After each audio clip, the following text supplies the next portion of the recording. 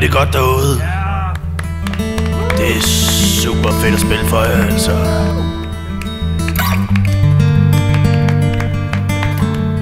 Vi skal høre en, øh, vi skal høre en lille sang, som øh, jeg skrev i vinteren 87. Det var en barsk vinter. Men øh, der kom der det mindste den her ud af den.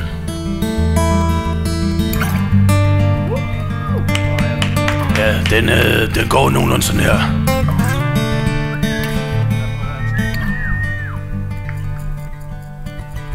Det var min plan At skrive en sang. En sang om jul Og lidt tam tam Men himlen er blå Så jeg gik i stå. Det var min plan At smutte mandler men der kom en film Med Adam Sandler. Filmen er slut, han er en klam satan. Ja, det er fordi filmen der, der prøvede ham Adam Sandler der Han prøvede sgu at parre sig med en æble kaneltærte. Det var et forfærdeligt sceneri, altså.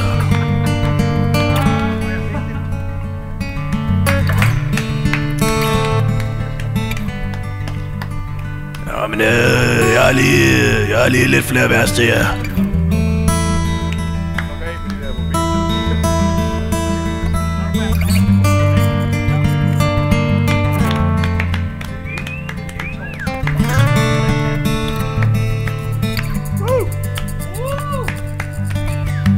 Det var min plan At spise an Jeg lagde den frossen på en pan Men himlen er blå Og anden er stadigvæk rå.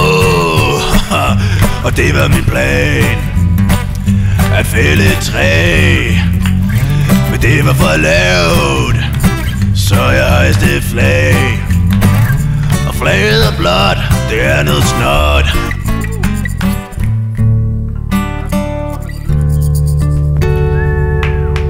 Kan se ham der, der gemmer sig over hjørnet?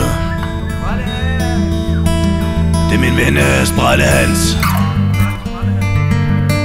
Han, uh, han har lidt problemer med stemmen, for han har sgu røget for mange sirutter Men han kan snakke gennem sådan en ting, der hedder en øh, uh, A-torch Det lyder sådan her.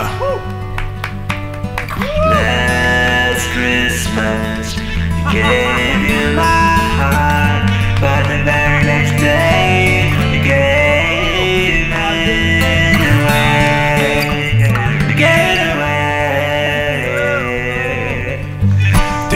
Det plan At spide en gås På julebordet Ved at have fros. Men gåsen var klam Og sang så Simon Kvam. Og det var mit plan At købe gaver. Men øv for fan Jeg faldt sgu i staver. Men himlen er grå nu vil jeg gå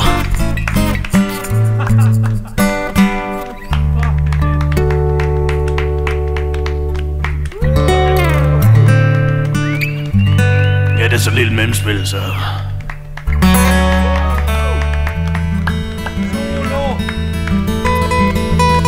Er det godt derude, eller? Fedt, mand. Det er godt at se jer.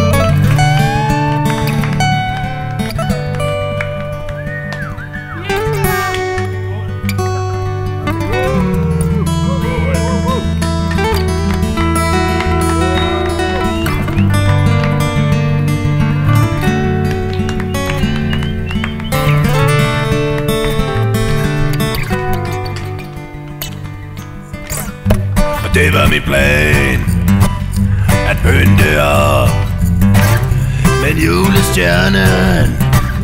Den er på min krop. Og træet er grønt Og julen er skønt. Kom så alle sammen syng med. Julen er skønt. Julen er skønt.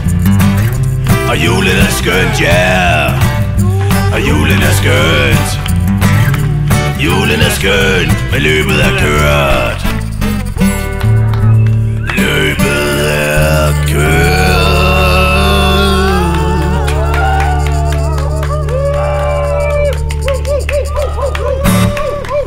Tak skal I have, gamle røvler I fandme.